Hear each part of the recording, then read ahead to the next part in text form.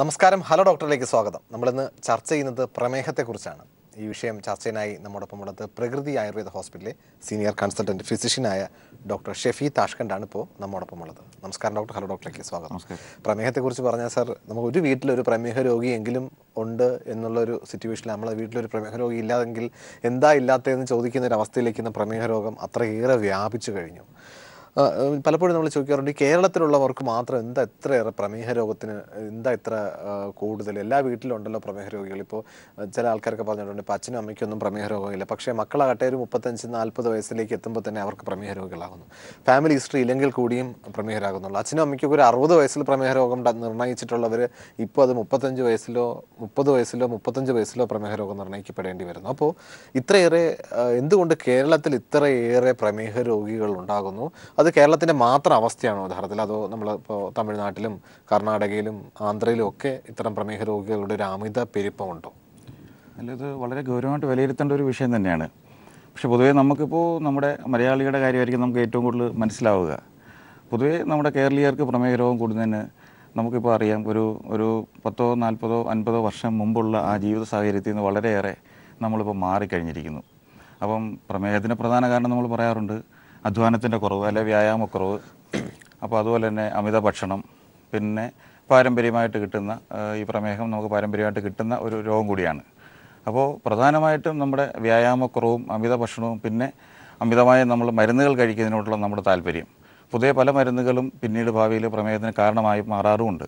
ഇപ്പോൾ മറ്റ് സംസ്ഥാനങ്ങളെ അപേക്ഷിച്ച് പിന്നെ നമ്മുടെ ആഹാര രീതിയിൽ തന്നെ ഒരു വ്യത്യസ്തതയുണ്ട്. പ്രത്യേകിച്ച് അരി ആഹാരം മൂന്ന് നേരം കഴിക്കണമെന്ന് ആഗ്രഹിക്കുന്ന ആൾക്കാരാണ് മലയാളികൾ കൂടുതലും. രണ്ട് രുചിക്ക് വേണ്ടി അല്ലെങ്കിൽ നാവിന്റെ രുചിക്ക് വേണ്ടി ശരീരത്തിന് ആവശ്യമുണ്ടോ ഇല്ലയോ എന്ന് നോക്കാതെ തന്നെ പലപ്പോഴും നമ്മൾ അമിതമായിട്ട് ഭക്ഷണം കഴിക്കാറുണ്ട്. അപ്പോൾ ആമാശയത്തിന്റെ ബുദ്ധിമുട്ട് മനസ്സിലാക്കാതെ നാവിന്റെ മാത്രം രുചിക്ക് വേണ്ടി നമ്മൾ അമിതമായ ഭക്ഷണം കഴിക്കുന്ന ഒത്തിരി പേര്. ഒപ്പം തന്നെ അധ്വാനം എന്ന് പറഞ്ഞാൽ വളരെ ബുദ്ധിമുട്ടായിട്ടല്ലേ അതിനോട് ഭയങ്കര അലസത കാണിക്കുന്ന ഒരു തലമുറ. പിന്നെ വിദ്യാഭ്യാസപരമായിട്ട് നമ്മൾ കേരളം വളരെ ഉയർന്ന ഗ്രാഫിൽ നിൽക്കുന്നൊരു സംസ്ഥാനമാണ്.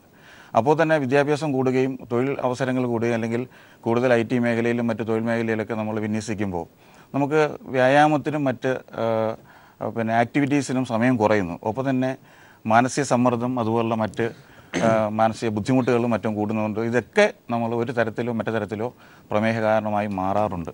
തീർച്ചയായിട്ടും. നമ്മളിപ്പോൾ അറിയാം നമ്മളിപ്പോൾ കേരളത്തിലുള്ളവർ കഴിഞ്ഞാൽ നമ്മുടെ പൂർവ- പൂർവികരൊക്കെ നമുക്കറിയാം നെൽകൃഷി ഉണ്ടായിരുന്ന വളരെ വലിയ രീതിയിൽ നെൽകൃഷി ഉണ്ടായിരുന്ന ഒരു ഒരു സ്ഥലമാണ് നമ്മുടെ കേരളം എന്ന് പറയുന്നത്. അതുപോലെ തന്നെ മൂന്ന് നേരവും പണ്ട് നാട് അറിയാം മൂന്ന് നേരവും അരി ആഹാരം കഴിച്ചിരുന്നു. ഇപ്പോൾ രാവിലെ ആണെങ്കിൽ നമ്മൾ അരി പൊടിച്ച് അത് പുട്ടുണ്ടാക്കി കഴിക്കും അല്ലെങ്കിൽ അപ്പം ഉണ്ടാക്കി കഴിക്കും അത്തരത്തിൽ അല്ലെങ്കിൽ ഇടിയപ്പം ഉണ്ടാക്കി കഴിക്കും. ഇത്തരം ഇതായിരുന്നു. ഉച്ചയ്ക്ക് അതുപോലെ തന്നെ ചോറ് ചോറ് യഥാർത്ഥത്തിൽ ഉച്ചയ്ക്ക് ചോറ് ഉണ്ണാത്ത ഒരു വീട് ഉണ്ടാകില്ല എന്ന് ഒരു പക്ഷേ കേരളത്തിൽ വളരെ വിരളമായിട്ട് ഉച്ചയ്ക്ക് ചോറ് കഴിക്കാത്ത ഒരു ഒരു ജനസമൂഹം നമുക്കുണ്ടാകുള്ളൂ അതുപോലെ തന്നെ വൈകുന്നേരം. മിക്കവാറും ചോറോ കഞ്ഞിയോ ഒക്കെ ആയിരിക്കും. അരി ഉൽപ്പന്നങ്ങൾ തന്നെയാണ് മൂന്ന് നേരം. പലർക്കും അറിയാം ഒരു ഏജ്ഡ് ആയിട്ടുള്ള ആൾക്കാരൊക്കെ ചോദിച്ചു കഴിഞ്ഞാൽ അവർക്ക് അറിയല്ലാതെ ഗോതമ്പ് കഴിക്കാൻ പോലും ഇഷ്ടമല്ല. അരി ആഹാരം തന്നെയാണ് അവരുടെ മെയിൻ ഭക്ഷണം എന്ന് പറയുന്നത്. അപ്പോൾ ഈ അരി ആഹാരം നമ്മൾ ഇപ്പോൾ അമിതമായിട്ട് ഉപയോഗിക്കുന്ന അരി വ്യായാമം തീർച്ചയായിട്ടും വ്യായാമം ഇല്ലാത്തൊരു ജനസമൂഹമാണ് ഇപ്പോൾ നമുക്കുള്ളത്. വ്യായാമത്തിന് വേണ്ടി വ്യായാമം ചെയ്യുന്ന ഒരു അവസ്ഥയാണ്. യഥാർത്ഥത്തിൽ നമ്മുടെ ജോലിയുടെ ഭാഗമായിട്ട് വ്യായാമം വരുന്ന അവസ്ഥ വളരെ കുറവാണ്. ഇപ്പോൾ നമ്മുടെ വീട്ടിൽ വരുന്ന ഒക്കെ ലേബേഴ്സിനൊക്കെ ഒഴിച്ച് ബാക്കി ആർക്കും വ്യായാമമില്ലാത്ത ജോലി തന്നെയാണ്. അപ്പോൾ ഈ അരിയുടെ ഉപയോഗം അല്ലെങ്കിൽ അമിതമായിട്ടുള്ള അരിയുടെ ഉപയോഗം ഈ പ്രമേഹം നേരത്തെ അല്ലെങ്കിൽ പ്രമേഹം ഉണ്ടാക്കുന്നതിൽ ഒരു മുഖ്യ പങ്ക് വഹിച്ചിട്ടുണ്ട്. തീർച്ചയായിട്ടും. അത് അരിയെ നമുക്ക് കുറ്റപ്പെടുത്താൻ കഴിയില്ലെങ്കിലും നമുക്കൊരു ശരീരത്തിന് ആവശ്യമായ കലോറി അത് ഇപ്പം നമുക്ക് ഗ്ലൂക്കോസിന്റെ കലോറി അല്ലെങ്കിൽ അരിയിലുള്ള മറ്റ് അതിന്റെ നമുക്ക് വേണ്ട ആഹാരത്തിനകത്ത് കിട്ടുന്ന ആ ധാതുക്കളുടെ കലോറി വെച്ച് നോക്കുമ്പം മറ്റ് ധാന്യങ്ങളെ അപേക്ഷിച്ച് അരിയിൽ വളരെ കൂടുതലാണ്. രണ്ട് ഒരു ശരീരത്തിൽ നമ്മൾ ഒരു സൈഡിൽ നമ്മൾ ഗ്ലൂക്കോസ് അല്ലെങ്കിൽ കാർബോഹൈഡ്രേറ്റ് അങ്ങനെയുള്ള കാര്യങ്ങൾ കഴിക്കുമ്പോൾ തന്നെ ശരീരത്തിന് വേണ്ട ഒത്തിരി മറ്റ് വൈറ്റമിനുകളായാലും മറ്റ് ധാതുക്കളായാലും ലവണങ്ങളായാലും മറ്റ് തന്നെ ഘടകങ്ങൾ ശരീരത്തിന് ആവശ്യമായിട്ട് വരുന്നുണ്ട്. പക്ഷേ ഇതിനൊരു സ്പേസ് നമ്മൾ മലയാളികൾ കൊടുക്കാറില്ല. ഇപ്പോൾ രാവിലെ തന്നെ അരി കൊണ്ടുണ്ടാക്കുന്ന ദോശയോ അപ്പോൾ എന്തെങ്കിലും കഴിക്കുന്നു അല്ലെങ്കിൽ അതുപോലെ ഏത് സാധനങ്ങളും കഴിക്കുന്നു. ഉച്ചയ്ക്കാവുമ്പോഴും അരിയുടെ തന്നെ പിന്നെ ബിരിയാണി ആയാലും നെയ്ച്ചോറായാലും അല്ലെങ്കിൽ റൈസ് ആണെങ്കിൽ പോലും അരിയുടെ തന്നെ ഇത് തന്നെയാണ് കഴിക്കുക. പിന്നെ മലയാളിയുടെ ഒരു പ്രത്യേകത എന്ന് പറഞ്ഞു കഴിഞ്ഞാൽ പൊതുവേ ഈ പച്ചക്കറികളോട് കുറച്ച് വിമുഖത കൂടുതലാണ്. പ്രത്യേകിച്ച് അതിനകത്തൊക്കെ ഇപ്പോൾ വിഷമാണെന്നുള്ളൊരു ക്യാമ്പയിനോട് ഉള്ളതുകൊണ്ട് പൊതുവേ സ്വന്തമായിട്ട് പച്ചക്കറി നമ്മൾ ഉൽപ്പാദിപ്പിക്കാറില്ലല്ലോ. തീർച്ചയായിട്ടും. പിന്നെ തമിഴ്നാട്ടിൽ നിന്നും മറ്റ് സംസ്ഥാനങ്ങളിൽ നിന്ന് വരുന്ന ഇതെല്ലാം ഈ പറഞ്ഞ പോലെ കൂടുതൽ ഇൻസെക്ടീസൈഡ് അടിക്കുന്നുണ്ട്. അതിനോട് നമുക്കൊരു മാനസികമായ ഒരു വിമുഖതയുണ്ട്. അപ്പോൾ പൊതുവേ മത്സ്യങ്ങളെ മാംസത്തെയുമാണ് കൂടുതൽ നമ്മൾ ലഞ്ചിനായാലും കൂടുതൽ ആശ്രയിക്കുന്നത്. പിന്നെ രാത്രിയിലേക്ക് പോയി കഴിഞ്ഞാൽ ഇപ്പോൾ ഒരു പറയും മാമൂൽ പോലെ അരി ഇല്ലെങ്കിൽ ഗോതമ്പ് എന്നുള്ളൊരു ഒരു നേച്ചറിലേക്ക് പോകുന്നു. ഇത് രണ്ടായാലും മൂന്നും ധാന്യങ്ങൾ തന്നെയാണ് നമ്മൾ മൂന്ന് സമയം ഉപയോഗിക്കുന്നത്. തീർച്ചയായിട്ടും ഇപ്പോൾ നമുക്കറിയാം കേരളത്തിന്റെ പല സ്ഥലത്തും രാത്രിയിലത്തെ ചോറ് ഉപയോഗിച്ച് രാവിലെ പഴങ്കഞ്ഞി കുടിക്കുന്ന ഒരു സിറ്റുവേഷൻ വളരെ സാധാരണമുണ്ട്. പ്രത്യേകിച്ച് നമ്മൾ കേരളത്തിലെ പല സ്ഥലങ്ങളിലും ഇത്തരം ഒരു കൾച്ചർ തന്നെയുണ്ട്. അതായത് രാവിലെ അല്ലെങ്കിൽ രാത്രിയിലത്തെ ചോറ് അല്ലെങ്കിൽ വൈകുന്നേരത്തെ ചോറ് വെള്ളത്തിലിട്ട് രാവിലെ കഴിക്കുന്ന ഒരു അവസ്ഥ അപ്പോൾ എന്നിരുന്നാലും ഏതൊരവസ്ഥയായിരുന്നാലും മൂന്ന് നേരം അരിയാഹാരം തന്നെയാണ് അവർ കഴിക്കുക. അപ്പോൾ ഇത്തരത്തിൽ അരിയാഹാരം കഴിക്കുന്നവർ ശ്രദ്ധിക്കേണ്ടതുണ്ട്. ഇപ്പോൾ പറയാറുണ്ട് ആ പൂർവികരൊക്കെ നന്നായിട്ട് തന്നെയാണ് അരിയാഹാരം കഴിച്ചത്. അരി അല്ലാതെ ഗോതമ്പ് അവർ കണ്ടിട്ട് പോലും ഇല്ല. യഥാർത്ഥത്തിൽ റേഷൻ കടയിൽ നിന്ന് വല്ല വളരെ അപൂർവം കാണുന്ന ഒരു സാധനമായിരുന്നു യഥാർത്ഥത്തിൽ ഗോതമ്പ് എന്ന് പറയുന്നത് കേരളത്തെ സംബന്ധിച്ചിടത്തോളം. ഈ അടുത്ത കാലത്താണ് ഈ ഗോതമ്പ് ഇത്രയേറെ കേരളത്തിൽ പ്രചാരപ്പെട്ടതും ഈ ചപ്പാത്തി പോലെയുള്ള കടകൾ തുടങ്ങുകയും അല്ലെങ്കിൽ ചപ്പാത്തി ഒരു ഒരു ആൾക്കാരുടെ കേരളീയരുടെ ഒരു ഭക്ഷണമായിട്ട് വരുന്നത് ഈ അടുത്ത കാലത്താണ്. അപ്പോൾ ഈ പണ്ടില്ലാത്ത ഈ അരിയുടെ പ്രശ്നം ഇപ്പം എന്തുകൊണ്ട് ഇത്രയേറെ അരിയെ ഇത്രയേറെ കുറ്റം പറയുന്നത് നമ്മളിപ്പോൾ ഒരു ഉപഭോക്തൃ സംസ്കാര സംസ്ഥാനം എന്നുള്ള രീതിയിൽ കൂടുതൽ. പിന്നെ രണ്ടാമത് ഒരു ഒരു ഉപഭോക്തൃ സംസ്കാരം ഈ സംസ്കാരമുള്ള ഒരു സ്റ്റേറ്റാണ് കേരളം. അപ്പോൾ അത് അരിയുടെ സ്കേഴ്സിറ്റി നമുക്ക് പറയാം. കൃഷി തന്നെ കുറഞ്ഞു വരുന്നു. അപ്പോൾ ഒരു ആൾട്ടർനേറ്റീവ് എന്നുള്ള രീതിയിൽ ഗോതമ്പ് പ്രൊമോട്ട് ചെയ്യപ്പെടുന്നു ഒന്ന്. രണ്ടാമത്തെ കാര്യം ഗോതമ്പ് ഇന്ന് അതിന്റെ ഉപയോഗിക്കേണ്ട രീതിയിലേക്ക് നമുക്കിപ്പം കിട്ടാവുന്ന രീതിയിലേക്ക് വന്നു. ആട്ടയായിട്ടാണെങ്കിലും പിന്നെ ഇപ്പോൾ ഗോതമ്പ് ഓട്സ് ആയിട്ടായാലും. മൈദ ആയിട്ടാണെങ്കിലും ഒക്കെ കിട്ടുന്ന ഒരു രീതി പോകുന്നു അപ്പം പെട്ടെന്ന് പിന്നെ ഉണ്ടാക്കാൻ ഒരു ഫുഡ് ഉണ്ടാക്കാൻ എളുപ്പം എന്നുള്ള രീതിയിൽ ഗോതമ്പിനെ കൂടുതലായിട്ട് ആശ്രയിക്കുന്നുണ്ട്. ഇപ്പോൾ നമ്മുടെ വിഷയം എന്ന് പറയുന്നത് ഈ പ്രമേഹത്തിന് ഈ ഒരു വിഷയങ്ങളിൽ നമ്മൾ എത്രത്തോളം പ്രമേഹത്തിനെ പിന്നെ ഉണ്ടാക്കാൻ അത് കാരണമാകുന്നു എന്നുള്ളതാണ്. അവിടെയാണ് നമ്മുടെ പ്രശ്നം എന്ന് പറയുന്നത്. നമ്മൾ മൂന്ന് നേരം അരിയാഹാരം അല്ലെങ്കിൽ ഗോതമ്പോ ഇത്തരം ധാന്യങ്ങളെ ആശ്രയിക്കുമ്പോൾ ശരീരത്തിന് വേണ്ട ആന്റി ഓക്സിഡന്റുകൾ അല്ലെങ്കിൽ ശരീരത്തിന്റെ ഈ ധാതുക്കളുടെ നാശം തടയുന്ന ഇപ്പം നാശം എന്ന് പറയുമ്പം ഓക്സിഡേഷൻ എന്ന് പറയും. ശരീരത്തിന്റെ കോശങ്ങളായാലും മറ്റായാലും നശിച്ചു പോകുന്നൊരു ട്രെൻഡുണ്ട്. മനുഷ്യൻ വളരുന്നതനുസരിച്ച് ധാതുക്കൾക്ക് നാശം ഉണ്ടാവും പാങ്ക്രിയാസിലും സംഭവിക്കുന്നത് തന്നെയാണ്. ബീറ്റാ സെൽസിന് ഉണ്ടാകുന്ന നാശങ്ങൾ കൊണ്ടാണ് നമ്മൾ ഡയബറ്റിക് ആവുന്നത്. അപ്പോൾ ഈ നാശം തടയേണ്ട ഒരു വിഭാഗം എന്ന് പറയുന്നത് വെജിറ്റബിളായാലും ഫ്രൂട്ട്സുകളായാലും എന്ന് പറയുന്ന ഒരു വിഭാഗമാണ്. അവിടെ പ്രാചീന കാലത്ത് എപ്പോഴും പിന്നെ പഴവർഗങ്ങൾക്കും പച്ചക്കറികൾക്കും കൂടുതൽ പ്രാ ഒരു ഇമ്പോർട്ടൻസ് കൊടുത്തിരുന്ന ഒരു കാലം ഉണ്ടായിരുന്നു. പക്ഷേ ഇപ്പോൾ നമ്മൾ വന്നു വന്ന് പ്രിപ്പയർഡ് ഫുഡുകളിലേക്കും അല്ലെങ്കിൽ ജങ്ക് ഫുഡുകളിലേക്കും മാറിയതോടുകൂടി രാത്രി പോലും നല്ല രീതിയിലൊരു ആപ്പിളോ അല്ലെങ്കിൽ അതുപോലെ പൈനാപ്പിളോ അല്ലെങ്കിൽ പപ്പായയോ അങ്ങനെ ഏതെങ്കിലും ഒരു ഭക്ഷണം റെഗുലറായിട്ട് കഴിക്കുന്ന ഒരു ശീലം നമുക്ക് ഇല്ലാതെ വന്നിരിക്കുന്നു. അല്ലെങ്കിൽ അത് ടേബിളിൽ ഒരു ഫാഷന് വേണ്ടി മാത്രം ഉപയോഗിക്കുന്ന രീതിയിലേക്ക് പോയി. അപ്പോൾ സമീകൃതമായ ഒരു ഒരു ആഹാര ശൈലി നമുക്കില്ലാത്തത് തന്നെയാണ് പ്രധാനമായിട്ടും ഈ പ്രമേഹം പോലുള്ള അല്ലെങ്കിൽ അമിതവണ്ണം പോലുള്ള രോഗങ്ങളിലേക്ക് നമ്മളെ ആ, കൊണ്ടുചെന്ന് എത്തിക്കുന്നത്. തീർച്ചയായിട്ടും നമ്മൾ പ്രമേഹ രോഗത്തെക്കുറിച്ച് പറയുമ്പോൾ എപ്പോഴും വളരെ കുറച്ചെങ്കിലും ആൾക്കാർ പറയാറുണ്ട് ഇതിപ്പോൾ പ്രമേഹം ആദ്യമൊക്കെ ആയുർ അലോപ്പതി ട്രീറ്റ്മെന്റ് എടുത്തു കഴിഞ്ഞാൽ പിന്നെ ആയുർവേദ മെഡിസിന് പ്രസക്തിയില്ല എന്ന് പറഞ്ഞ് പറഞ്ഞിട്ടുണ്ട്. അപ്പോൾ നമുക്ക് ഏതൊരളവിലും പ്രമേഹം നമുക്ക് ആയുർവേദത്തിലൂടെ ചികിത്സിക്കാൻ സാധിക്കുമോ? അതുപോലെ തന്നെ എപ്പോഴും പറയാറുള്ളത് പ്രമേഹത്തിന് നമുക്ക് അല്ലെങ്കിൽ ഒരിക്കൽ പ്രമേഹം പിടികെട്ടി കഴിഞ്ഞാൽ അത് നമ്മളെ കൊണ്ടേ പോകും എന്ന് പറയുന്ന രീതിയിൽ അത് നമ്മൾ നമ്മളെ വിട്ടു പോകില്ല പ്രമേഹം എന്ന് പറയുന്ന അസുഖം. അപ്പോൾ അത്തരത്തിലാണോ യഥാർത്ഥത്തിൽ ആയുർവേദത്തിൽ നമുക്ക് പ്രമേഹത്തിനെ കുറച്ച് പേർക്കെങ്കിലും പൂർണമായിട്ടും ചികിത്സിച്ച് ഭേദമാക്കാനായിട്ട് സാധിക്കും. തീർച്ചയായിട്ടും. ഈ പ്രമേയത്തെക്കുറിച്ച് നമ്മൾ മനസ്സിലാക്കിയിരിക്കുന്ന പല കാര്യങ്ങളും തിരുത്തപ്പെടേണ്ടതുണ്ട്. ഒന്ന് ഈ ആധുനിക ചികിത്സാ രീതികൾ പ്രമേയത്തിനെ നിയന്ത്രിക്കാനും അതുപോലെ തന്നെ പ്രമേയം പിന്നെ ഇൻസുലിനെ സപ്ലിമെന്റ് ചെയ്യാനും ഒരു ഫോക്കസ് ചെയ്യുന്ന ഒരു ചികിത്സാ രീതിയാണ്. ഇപ്പം ടാബ്ലറ്റുകളായാലും മറ്റ് മെഡിസിനുകളായാലും തന്നെ പാങ്ക്രിയാസിനെ സ്റ്റിമുലേറ്റ് ചെയ്യാനോ അല്ലെങ്കിൽ അതിന് ഈ പിന്നെ ഗ്ലൂക്കോസ് നിയന്ത്രണത്തിനോ ഉപകരിക്കുമ്പോൾ ഇൻസുലിൻ തന്നെ നേരിട്ട് നമ്മൾ കൊടുത്തുകൊണ്ട് ഇൻസുലിന്റെ ഷോർട്ടേജ് മേക്കപ്പ് ചെയ്യുന്നു. അതാണ് ആധുനിക ചികിത്സയിൽ പോകുന്നത്. ആയുർവേദത്തിലേക്ക് വരുമ്പോൾ നമ്മൾ ഏറ്റവും പ്രധാന ആയുർവേദത്തിന്റെ സങ്കല്പം തന്നെ ശരീരവും പ്ര പ്രകൃതിയും അല്ലെങ്കിൽ പിന്നെ മറ്റ് നമ്മുടെ ഈ ഈ വൃക്ഷലതാദികളും അല്ലെങ്കിൽ നമ്മുടെ പച്ച ഇതുമായിട്ടുള്ള ഈ ഹരിതാഭയും എല്ലാം ഒരേ രീതിയിലാണ് കിടക്കുന്നത്. കാരണം നമ്മൾ ജനിക്കുമ്പോൾ തന്നെ നമ്മൾ ഭക്ഷണം കഴിച്ച് കഴിച്ചാണ് ഈ ശരീരം മരണം വരെ നമ്മൾ നിലനിർത്തുന്നത്. മരുന്നുകളോ അല്ലെങ്കിൽ മറ്റു കാര്യങ്ങളോ ഒന്നും കഴിച്ചിട്ടില്ല. ഭക്ഷണമാണ്. അപ്പോൾ ഈ ധാതു പരിണാമത്തിനും ധാതു പുഷ്ടിയും ശരീരത്തിന്റെ എല്ലാ പിന്നെ പ്രക്രിയകളും നടക്കുന്നത് ഈ കഴിക്കുന്ന ഭക്ഷണത്തിൽ കൂടെ തന്നെയാണ്. അപ്പോൾ അവിടെ ഭക്ഷണം തന്നെ ശരീരത്തെ ഹീൽ ചെയ്യുന്ന അല്ലെങ്കിൽ സുഖപ്പെടുത്തുന്ന ഒരു ഔഷധമായിട്ട് പ്രവർത്തിക്കുന്നു. അവിടെയാണ് നമ്മൾ ഈ പാങ്ക്രിയാസ് പോലെ അല്ലെങ്കിൽ കരളിന്റെ പോലെ അല്ലെങ്കിൽ കിഡ്നി പോലുള്ള ഏത് അവയവത്തിന്റെ പിന്നെ കോശങ്ങൾക്ക് നാശം വന്നാലും അതിനെ വീണ്ടും നമുക്ക് പുനർജനിപ്പിക്കാനും അതിനെ റിപ്പയർ ചെയ്യാനും നമ്മൾ കഴിക്കുന്ന ഭക്ഷണത്തിനോ അല്ലെങ്കിൽ ഭക്ഷണത്തിലൂടെ നമുക്ക് അതേ അതേ രീതിയിൽ ഉപയോഗിക്കുന്ന ഈ പച്ചമരുന്നുകൾ കൊണ്ടുള്ള ഔഷധങ്ങൾക്ക് കഴിയുമെന്ന് നമുക്ക് പ്രൂവ് ചെയ്യാൻ കഴിയുന്നത്. തീർച്ചയായിട്ടും എന്റെയൊക്കെ അനുഭവത്തിൽ ചികിത്സാനുഭവത്തിൽ ഏറ്റവും കൂടുതൽ നമുക്ക് വെച്ചാൽ പിന്നെ നമുക്ക് പ്രകൃതി തന്നെ ഇഷ്ടംപോലെ പച്ചമരുന്നുകളുണ്ട്.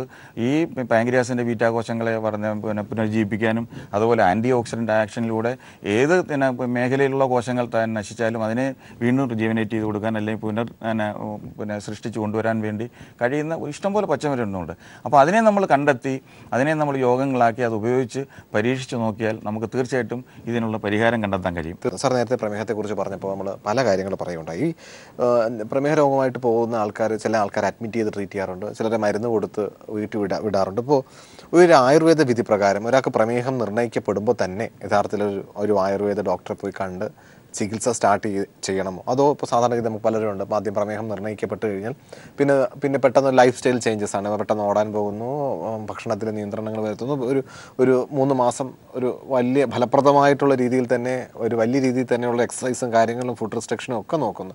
സാധാരണ അതായത് മരുന്ന് കഴിക്കാനായിട്ട് പഠിച്ചിട്ട്. അപ്പോൾ തുടക്കത്തിൽ തന്നെ പ്രമേഹം നമ്മൾ നമ്മൾ നിർണയിക്കപ്പെടുമ്പോൾ തന്നെ ചികിത്സിച്ച് കഴിഞ്ഞാൽ എളുപ്പമാണോ യഥാർത്ഥത്തിൽ പ്രമേഹ ചികിത്സ ചികിത്സയിൽ? പ്രത്യേകിച്ച് ആയുർവേദത്തിൽ.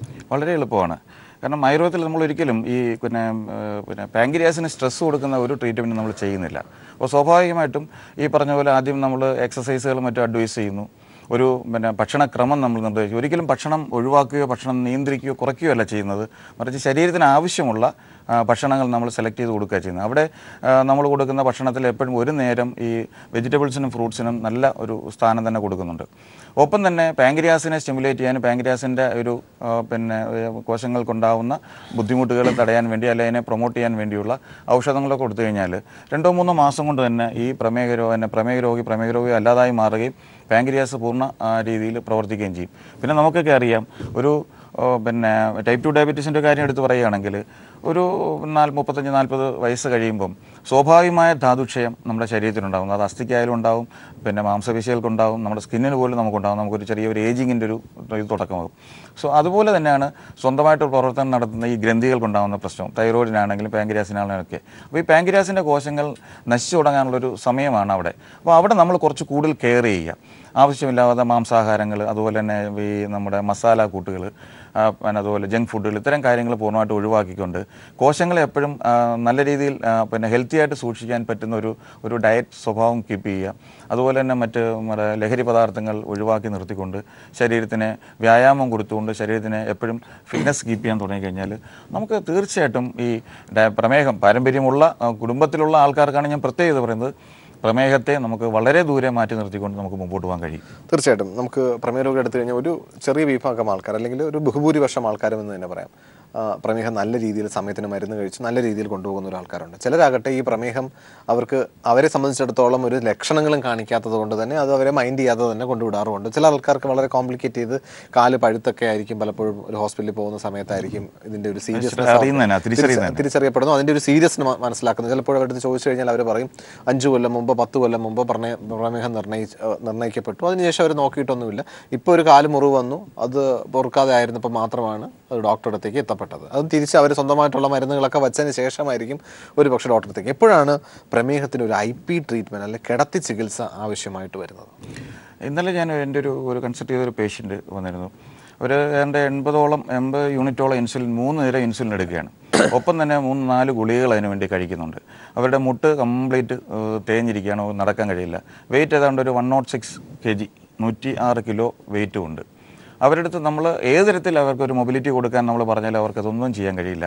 അപ്പോൾ ഇത്തരം പേഷ്യൻസ് അതായത് ഇതുവർക്ക് നൂറുകണക്കിന് പേഷ്യൻസാണ് വരിക. അപ്പോൾ ഇവരെ സംബന്ധിച്ചിടത്തോളം അവരുടെ ഈ സെഡന്ററി ലൈഫ് അല്ലെങ്കിൽ അവർക്ക് ഈ പിന്നെ ഈ മടി പിടിച്ച അല്ലെങ്കിൽ ഒന്നും വ്യായാമം ചെയ്യാൻ കഴിയാതെ പത്തോ പതിനഞ്ചോ വർഷമായിട്ട് ഇങ്ങനെ ഒരു യൂഷ്വൽ ജീവിതം. ഇപ്പോഴാണെങ്കിൽ അങ്ങനെ ഒരു ജീവിതശൈലിയിലേക്ക് പോകാനുള്ള ഇഷ്ടംപോലെ മാധ്യമങ്ങളുണ്ട്. നമുക്ക് ടി വി ആണെങ്കിലും മറ്റ് ഇതായാലും ദൃശ്യമാധ്യമങ്ങളും ഒക്കെ കണ്ടുകൊണ്ട് വ്യായാമം എന്ന് പറയുന്ന ഒരു സാധനം മറന്നുപോകുന്ന ഒരു ഒരു കാലഘട്ടമാണ്. അല്ലെങ്കിൽ അധ്വാനം എന്ന് പറഞ്ഞൊരു കാലം തന്നെ വേണ്ടിയില്ല. അതുകൊണ്ട് തന്നെ പലപ്പോഴും ഈ പിന്നെ ഒരു തരത്തിലും പത്തും പതിനഞ്ചും വർഷം വ്യായാമം ഇല്ലാതെ പോയി കഴിയുമ്പോഴത്തേക്ക് ഈ മാംസവും അസ്ഥിയും മറ്റും ഒക്കെ തേഞ്ഞു തുടങ്ങുന്ന ഒരു സ്റ്റേജിലേക്ക് വരും. ഇവരെ സംബന്ധിച്ചിടത്തോളം നമ്മളൊരു വ്യായാമം അല്ലെങ്കിൽ ഒരു പിന്നെ ഒരു ആക്ടിവിറ്റീസോ പറഞ്ഞു കൊടുത്താൽ അല്ലെങ്കിൽ ഫുഡിൽ തന്നെ നമ്മളൊരു നിയന്ത്രണങ്ങൾ പറയുമ്പോൾ രാത്രി ഒരല്പം ചോറ് കഴിക്കാതെ പറ്റില്ല സാർ. അല്ലെങ്കിൽ എനിക്ക് ചപ്പാത്തി കഴിക്കാതെ പറ്റില്ല സാർ. ഇങ്ങനെ പറയുന്ന ഇഷ്ടം പോലെ പേഷ്യന്റ് ഉണ്ട്.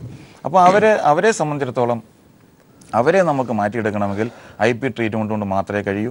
കാരണം മരുന്ന് അവരുടെ ബോഡി അബ്സോർബ് ചെയ്യണം അവരുടെ മെറ്റബോളിക് ആക്ടിവിറ്റീസ് നമുക്ക് കറക്റ്റ് ചെയ്യണം ഈ പാങ്ക്രിയാസിലേക്ക് അടക്കമുള്ള പിന്നെ രക്തഓട്ടം നമുക്ക് കൂട്ടാനും അതിലേക്ക് നമ്മൾ കൊടുക്കുന്ന മെഡിസിന്റെ എഫക്റ്റ് അവിടെ കിട്ടണം. രണ്ടാമത് ഇവർ കഴിക്കുന്ന ഭക്ഷണം അല്ലെങ്കിൽ നമ്മൾ കൺട്രോൾ ചെയ്തിട്ട് നമ്മൾ പുതിയതായിട്ട് അഡ്വൈസ് ചെയ്യുന്ന ഭക്ഷണത്തിന്റെ ആ അതിന്റെ സാരാംശങ്ങളൊക്കെ ഈ ഭാഗത്തേക്ക് എത്തണമെങ്കിൽ തീർച്ചയായിട്ടും അവരുടെ മെറ്റബോളിക് ആക്ടിവിറ്റീസ് വർദ്ധിപ്പിക്കേണ്ടി വരും. അപ്പോൾ ഒരു സെഡൻഡറി ലൈഫിൽ കൂടി ഇങ്ങനെ ഇരിക്കുന്ന ഒരാൾക്ക് ഒരിക്കലും മെറ്റബോളിസം കറക്റ്റ് ആയിരിക്കില്ല. അവരുടെ ദഹനം ദഹനം ശരിയായിരിക്കില്ല.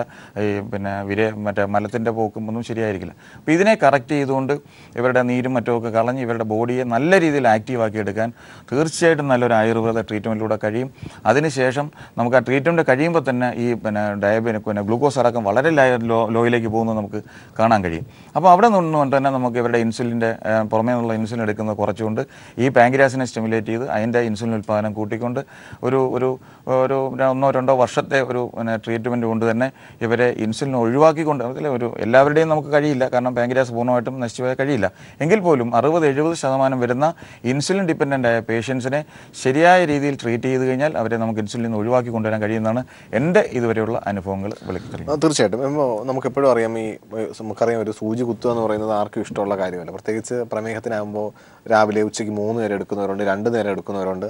ഇപ്പോൾ നമുക്ക് മാർക്കറ്റിൽ പെയിൻ കുറഞ്ഞ സൂചികൾ നമുക്ക് ലഭ്യമാണ് പെൻ ടൈപ്പ് പോലെയുള്ള ഇൻസുലിനാണ് ലഭ്യമാണെങ്കിൽ കൂടിയും കൂടുതൽ പേരും നമ്മൾ സാധാരണ സിറിഞ്ച് ഉപയോഗിച്ച് ഇൻസുലിൻ സിറിഞ്ച് ഉപയോഗിച്ച് ഇൻസുലിൻ എടുക്കുക തന്നെയാണ് പറ്റും അപ്പോൾ ഈ ഇൻസുലിൻ എടുക്കുന്നവരെ എത്രത്തോളം നമുക്ക് ഹെൽപ്പ് ചെയ്യാനായിട്ട് സാധിക്കും? അപ്പോൾ ഈ ഇൻസുലിൻ എടുക്കുന്ന പേഷ്യൻസിന് നമുക്ക് അഡ്മിറ്റ് ചെയ്ത് ട്രീറ്റ് ചെയ്യേണ്ടി വരുന്ന ഒരു ആവശ്യം ഉണ്ടാകാറുണ്ട്. അല്ല രണ്ട് രീതിയിലുണ്ട്. ഇൻസുലിൻ എടുക്കുന്ന പേഷ്യൻസ് കുറേ പേരുണ്ട്. പിന്നെ അഡ്മിറ്റ് ചെയ്യാതെ നമ്മൾ മെഡിസിൻ കൊണ്ട് തന്നെ നമ്മൾ ഇവരുടെ മെറ്റബോളിക് ഇത് കറക്റ്റ് ചെയ്തുകൊണ്ട് പാങ്ക്രിയാസിനെ പിന്നെ ഫംഗ്ഷനിങ് ആക്കി എടുത്ത് ഇൻസുലിൻ ഘട്ടം ഘട്ടമായിട്ട് കുറച്ചുകൊണ്ട് വരുന്നത് ചില പേഷ്യൻസ് ഒക്കെ എന്ന് വെച്ചാൽ ഒരാഴ്ച രണ്ടാഴ്ച കൊണ്ട് തന്നെ ഭയങ്കരമായ ഹൈപ്പോഗ്ലൈസിമിയിലേക്ക് പോകും. അപ്പോൾ അത് നിരന്തരം അങ്ങനെ നിൽക്കുമ്പോൾ നമ്മൾ ഇൻസുലിൻ നല്ല ഗണ്യമായ ഇൻസുലിന്റെ പുറമെ പുറമേ നിൽക്കുന്ന ഇൻസുലിന്റെ അളവ് കുറയ്ക്കാറുണ്ട്. പിന്നെ മറ്റൊന്ന് പറയുന്നത് പിന്നെ പത്തും പതിനഞ്ചും വർഷം സ്ഥിരമായിട്ട് ഇൻസുലിൻ എടുക്കുന്ന പേഷ്യൻസിൽ ഡെവലപ്പ് ചെയ്യുന്ന ഒരിതാണ് ഇൻസുലിൻ മറ്റേ ഇത് റെസിസ്റ്റൻസ്. അപ്പോൾ ഈ ഇൻസുലിൻ റെസിസ്റ്റൻസ് ഡെവലപ്പ് ചെയ്യുന്നതോടുകൂടി ഇൻസുലിൻ ആവശ്യത്തിൽ കവിഞ്ഞെടുത്താൽ പോലും ഈ ഗ്ലൂക്കോസ് ലെവൽ താഴാത്ത ഒരു സ്റ്റേജ് വരും. ഇതൊരു വലിയൊരു അപകടകരമായ സ്റ്റേജാണ്. കാരണം ഇൻസുലിൻ എടുത്താലും ഗ്ലൂക്കോസ് കൺട്രോൾ ചെയ്യാൻ കഴിയാത്ത സ്റ്റേജിലേക്ക് ഈ പേഷ്യന്റ് പോകുന്നത് അവരുടെ തുടർന്നുള്ള ജീവിതത്തെ സാരമായി ബാധിക്കും.